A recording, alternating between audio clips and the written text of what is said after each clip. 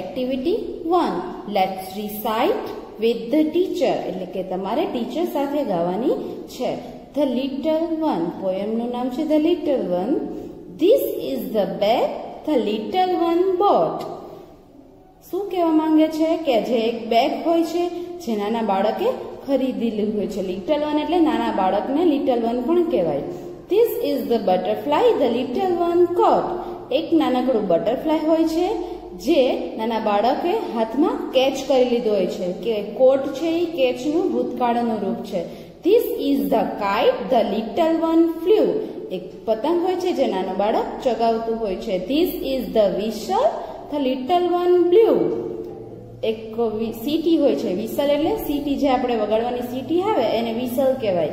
જે નાનું બાળક એને વગાડે છે, એને બ્લો કહેવાય. વગાડવું એને બ્લો કહેવાય. બ્લો છે, એનું ભૂતકાળનું રૂપ બ્લ્યુ થાય.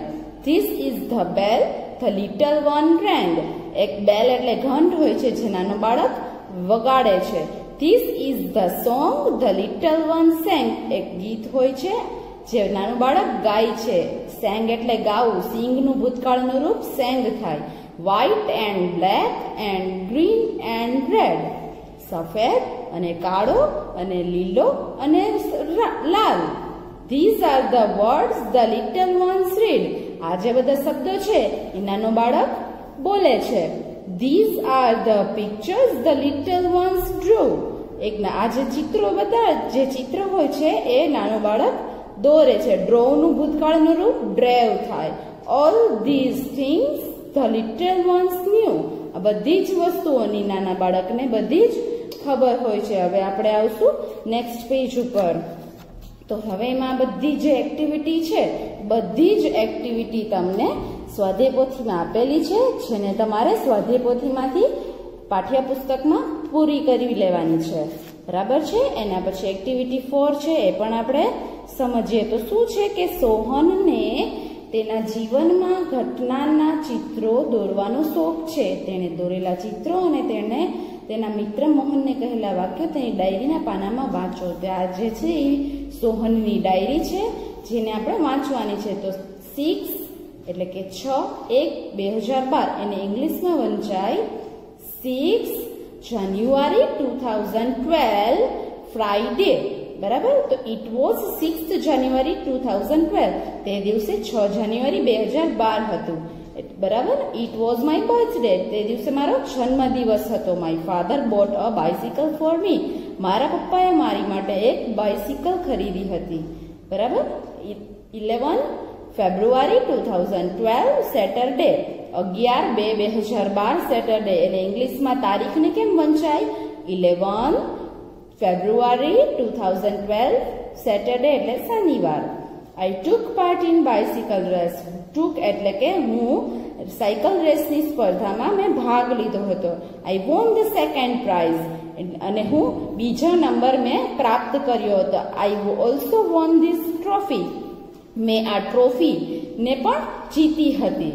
પછી છે fourth May two thousand twelve પછી ચા, આપણે ચોથી તારીખને, મે મહિનામાં, બે હજાર બારમાં, શુક્રવારે શું હતું તો હવે એના વિશે છે. લુક એટ ધીસ પિક્ચર આ ચિત્રની સામે જુઓ. લુક એટલે જુઓ એટ ધીસ પિક્ચર એટલે ચિત્રની સામે જુઓ. ધીસ ઇઝ એસએસજી હોસ્પિટલ આ હોસ્પિટલનું નામ શું છે? એસએસજી હોસ્પિટલ છે. આઈ હેડ એન એક્સિડન્ટ મારું એક્સિડન્ટ થયું હતું. હેડ છે એટલે હેવ અને હેઝનું ભૂતકાળનું રૂપ હેડ થાય. તો મારું એક્સિડન્ટ થયું હતું. I was in the hospital for three days હું ત્રણ દિવસ હોસ્પિટલમાં રહ્યો હતો. બરાબર છે? તમને આ એક્ટિવિટી સમજાઈ ગઈ છે? તો હવે આપણે એક્ટિવિટી ફાઇવમાં આવીએ. એક્ટિવિટી ફાઇવમાં શું છે? એક્ટિવિટી ફાઇવ છે કે તમારા શિક્ષક વાર્તા કહે તે ધ્યાનથી સાંભળો અને તેનું મુખ વાંચન કરો. તો વાર્તાનું નામ છે smile in the mirror part one એક મિરર એટલે છોકરીની વાર્તા છે, જેનો એક પાર્ટ છે, પહેલો પાર્ટ છે. આપણે એને વાંચવાનો છે અને સમજવાનો છે. It was eleventh April two thousand eleven તે દિવસે અગિયારમી એપ્રિલ બે હજાર અગિયાર હતી. It was Tejaswini twelfth birthday ત્યારે તેનો તેજસ્વીનીનો બારમો બર્થડે હતો. Her father gifted her a beautiful bicycle તેના પપ્પાએ તેને ખૂબ સુંદર એક બાઇસિકલ ભેટમાં આપી હતી. It was a unique bike તે કંઈક ખૂબ અલગ પ્રકારની બાઇક હતી. Blue in colour a soft seat સાયકલનો colour blue હતો. એમાં સોફ્ટ સીટ હતી. નાનકડી બેલ હતી little one bell and rear view mirror અને ફ્રન્ટ આપણે જે અરીસો કહેવાય, આગળનો અરીસો કહીએ એને રિયર વ્યૂ મિરર કહેવાય. When Tejaswini saw her bicycle જ્યારે તેજસ્વીની સાયકલને જુએ છે સી સેડ તે કહે છે વાવ તે જોઈને ખુશ થઈ જાય છે અને શું કહે છે? વાવ સી ફેલ્ટ પ્રાઉડ તેને ખૂબ ગર્વ અનુભવ થાય છે.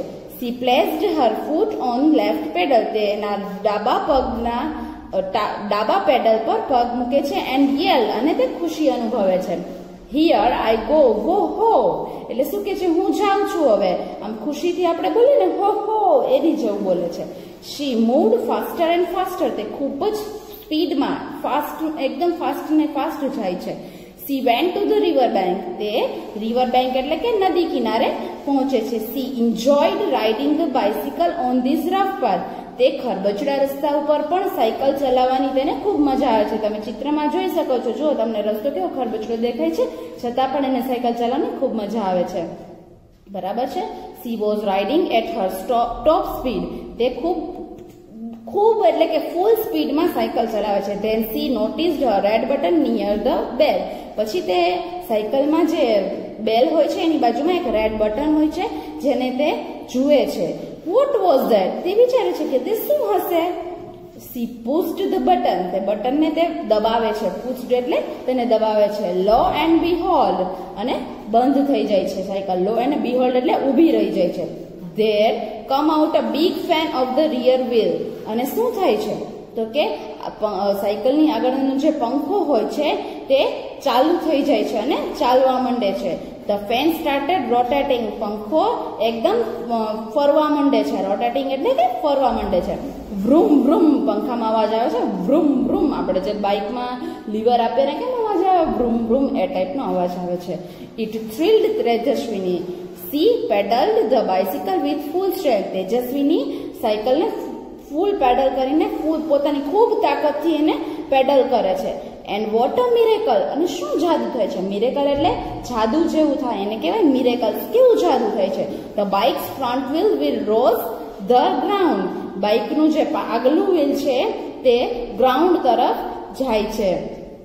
And the rear one the bike was flying now અને હવે બાઇક એટલે કે જે, જેની જે સાયકલ જેવી બાઇક છે, એ હવે શું થાય છે? ઉડવા માંડે છે. She pedal faster and the bicycle went up three four five જેમ તે પેડલને મારે છે, તેમ સાયકલ એકદમ ફાસ્ટ ચાલે છે અને એની સ્પીડ વધતી જાય છે. થ્રી ફોર ફાઇવ સ્પીડ વધી જાય છે એટલે એને એવા ત્રણ, ચાર, પાંચ એમ છે, પચાસ મીટર સુધી પહોંચી જાય છે.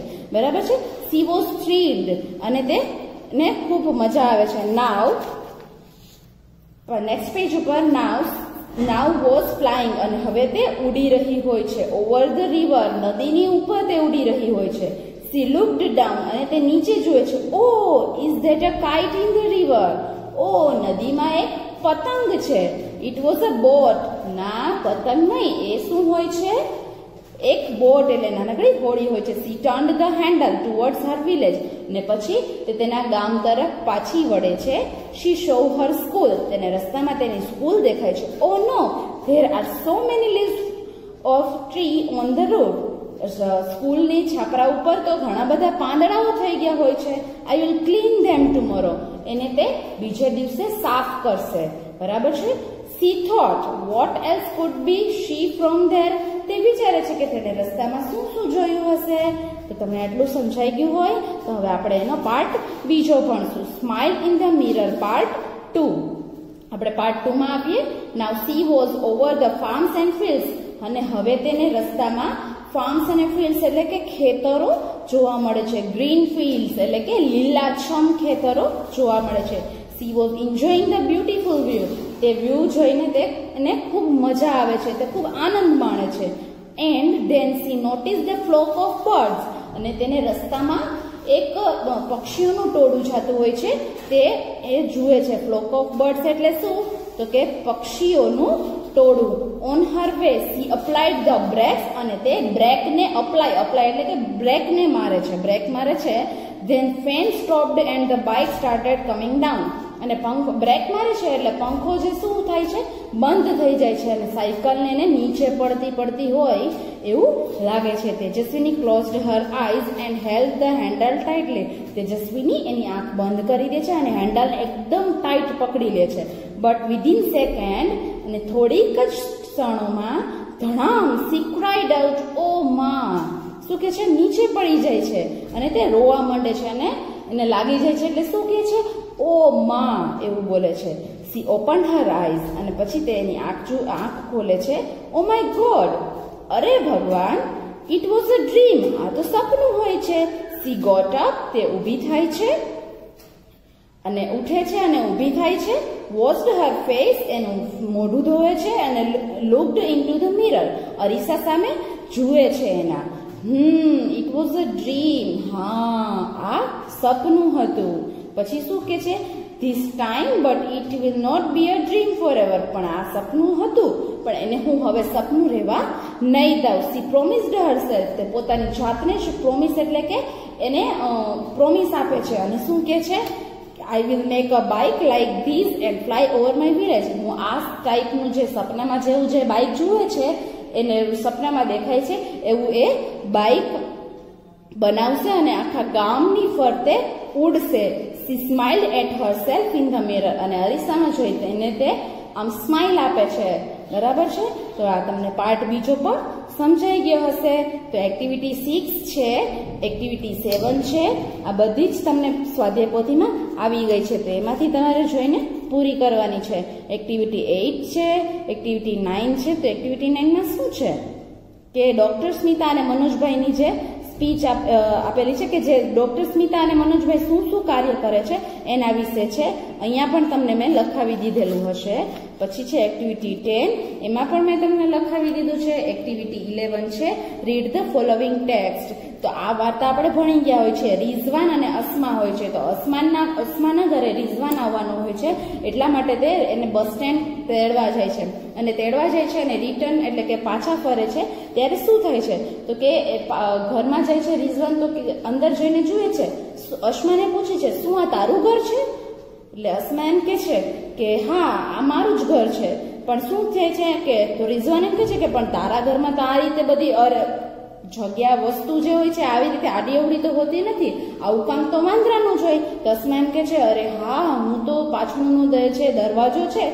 એ હું તો બંધ કરતા જ ભૂલી ગઈ છું. તો રિઝવાન કે છે કે જો સામે જો સામેના ઝાડ પર એક વાંદરો બેઠો છે અને પોટેટો ચિપ્સ ખાય છે.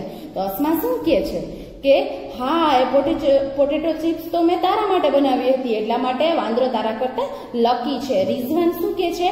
ઓકે, તો કાંઈ વાંધો નહીં. હવે આપણે આ જે ઘરને અસ્તવ્યસ્ત થઈ ગયું છે, એને આપણે ફરીથી વ્યવસ્થિત ગોઠવી લઈએ. અને અસમાં એમ કે છે, ચાલો આપણે એને કરીએ છીએ. અને પછી છે એક્ટિવિટી ટ્વેલ્વ છે સોરી અહીંયા જે છે, એમાં જે વસ્તુ અસ્તવ્યસ્ત પડેલી છે, એને તમારે શું કરવાનું છે? ચિત્રને કમ્પ્લીટ કરવાનું છે. અને એક્ટિવિટી ટ્વેલ્વમાં પણ કાંઈ કરવાનું નથી. તો તમને સમજાઈ ગયું હશે. તો ચાલો, હવે આપણે આ લેસન આખું સમજી લીધું છે. બધાને સમજાઈ ગયું હશે. Bye bye